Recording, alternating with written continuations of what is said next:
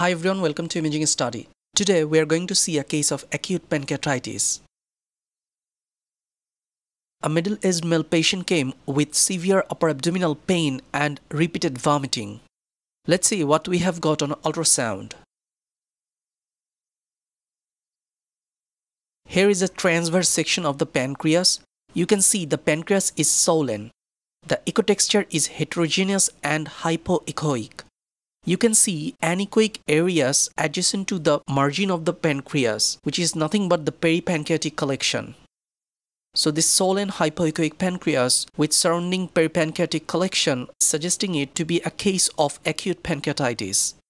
If we check carefully, adjacent fatty thickening or fat stranding is also noted.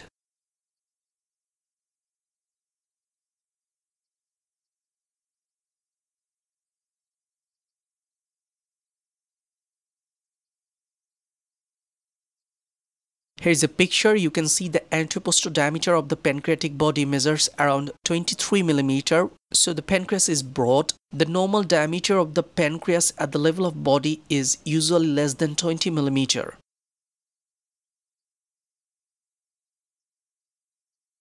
Another picture of the pancreas on transverse section and you can see peripancreatic collection is well visualized here.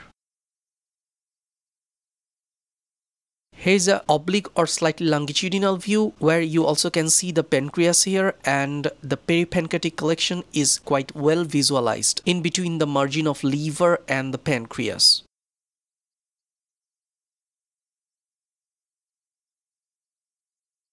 and the picture of the pancreas showing the heterogeneous swollen appearance and also the peripancreatic collection on the right image.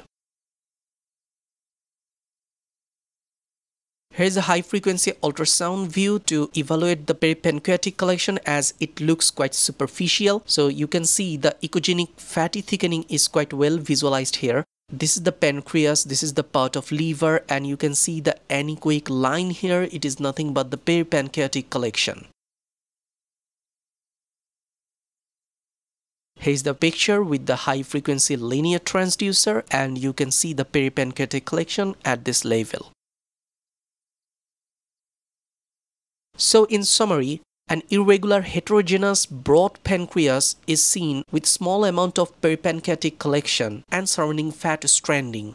So these features conclude it as a case of acute pancreatitis. Now the take-home message. In case of acute pancreatitis, always try to search for pseudocyst at the epigastric region and calculus in the gallbladder lumen, which are very common associations. Thank you for watching this video. Don't forget to subscribe our YouTube channel and try to follow us on other social platforms. We'll try to post one video per day in this December, so obviously try to check our YouTube channel every day. See you on the next one. Have a nice day.